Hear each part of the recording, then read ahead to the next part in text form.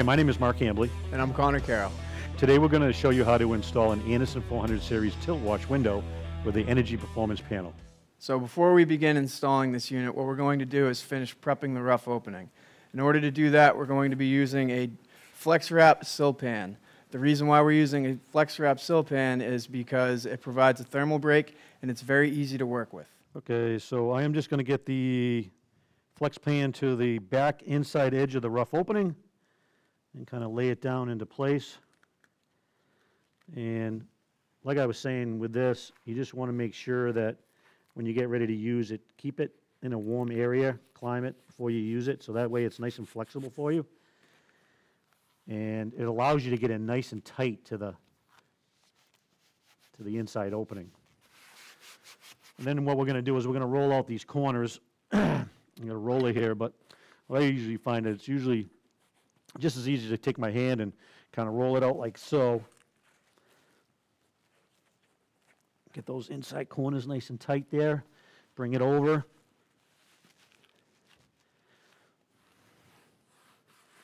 And then as you bring it down on top of this house wrap here, it sticks nicely. And then we're just going to roll it out. Okay, one thing to note before you get ready to install the Andersen 400 series tilt wash unit with the energy performance panel is that the energy performance panel actually is installed inside the unit. So you need to make sure that you're taking a little bit extra care when you're moving these units around the job site. Okay, now that we got the unit out of the box, I want to show you a back sealant procedure on this unit that's commonly missed. Okay, so I just wanted to explain why we're doing this procedure. So you, as you can see on the tilt wash unit, that the flanges overlap here, okay? And also the void on the flange where it doesn't come all the way to the inside corner. So what we're doing is we're taking sealant and we're injecting into this area right here, and then up and around the corner here. And as we do that, we're filling that area, and then we just want to tool it back.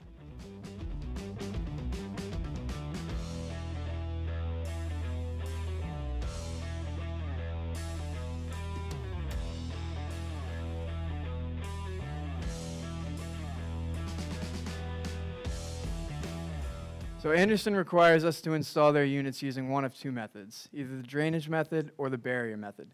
Today we're going to be installing this unit demonstrating the barrier method, which will prevent any water from entering the rough opening at all.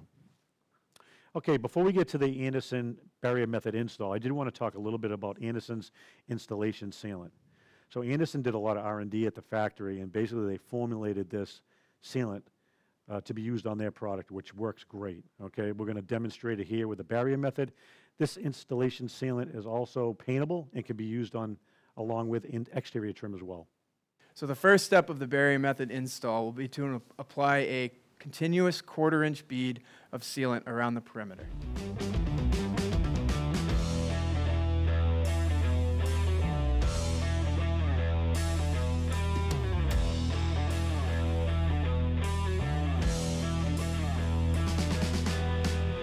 Okay, before we get into the install of the window, I did want to talk a little bit about the shims that we're going to be using here today. So these black plastic shims, uh, as you can see down here on the sill, are going to do a couple things for us. They're going to get the window up off the rough framing, okay? So that's going to allow the insulator, so when he gets ready to install, get it underneath the window. The other thing it's going to do is it's going to prevent, you know, if we get any settling on this unit, it's going to prevent the, the sill from crowning. The other thing that's good about it is that the, the, they're plastic. They're not going to absorb any water. And you don't have to worry about them, you know, wedging cedar shims in there that could be going at an angle. Um, these go in nice and flat, and they tie in nicely to the install. So now that we have our perimeter sealant and the shims on the sill, the next thing we're going to be doing is we're going to put the unit into the rough opening and then we're going to tack off one corner and then go to the inside and demonstrate how we would shim this unit before we fasten it off completely.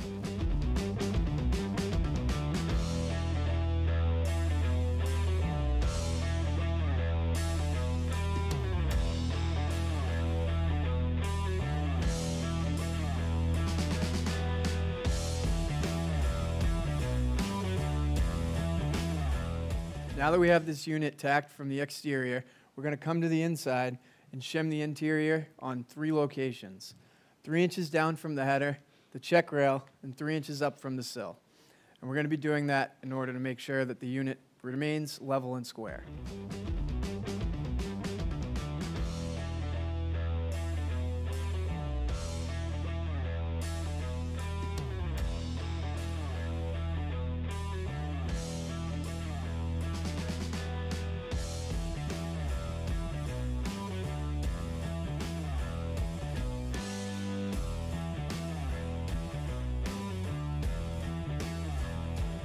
Now that we have the unit properly shimmed off, we're going to go to the exterior, fasten off the rest of the unit, and then begin our flashing procedure.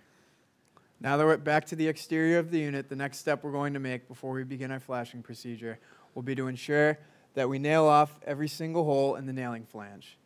Now, Mark, why is this so important? Connor, great question, and we often see it in the field too, right? So um, if you're, if you only nail off every other hole, potentially what could happen is you might get the, the flange to fish mouth here a little bit, and that could be a cause for water or air infiltration getting in behind there. So um, with the new codes now and, and such, we need to embed this flange completely into the sealant that we put on here, right? So we want to make sure that we're nailing off every single hole. That way this flange is completely embedded and we're getting a great install. Okay, now that we've got the unit completely fastened on the exterior, I did want to cover the flashing procedures that we're going to be using on this product. Because we did the barrier method install, we're going to, we're going to use flashing tape along the bottom and then one on each side. Now we're going to be using the 3M flashing tape here today because it sticks well in all weather temperatures, it's got a split backing to it, and it's an easy install.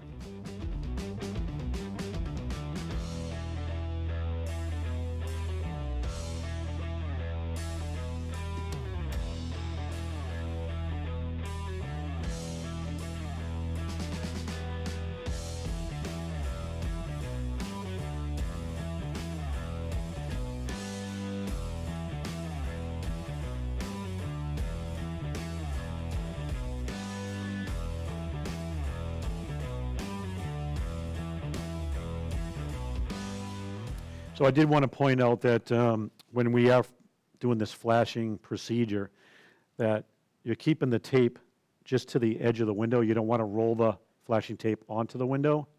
You want to just keep it right to the edge of the window because we're going to be doing a sealant procedure, a perimeter sealant procedure around the whole unit. The next step we'll be making is adding a perimeter seal around the edge of the unit, which will bond the flashing tape to the frame.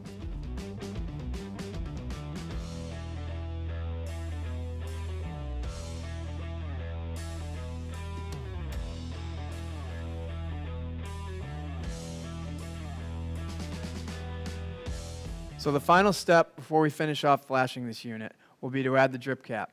Now this drip cap will not be in the box of these individual TW units.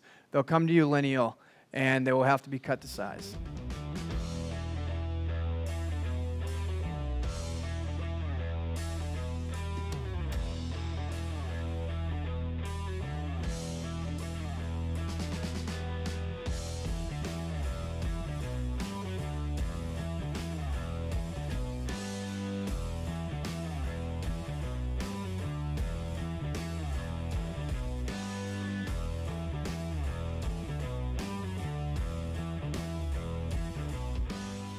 Okay, so the drip cap has been installed, so the final part of this install is going to be to finish off the flashing of the uh, drip cap.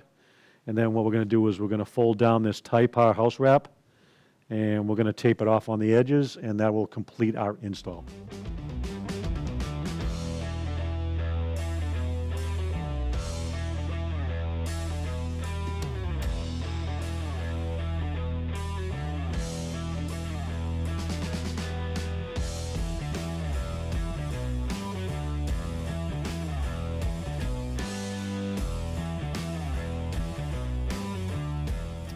That concludes our video presentation for the installation of a 400 series tilt wash with the Energy Performance Panel. If you have any questions, please reach out to your local sales associate. Thank you for watching.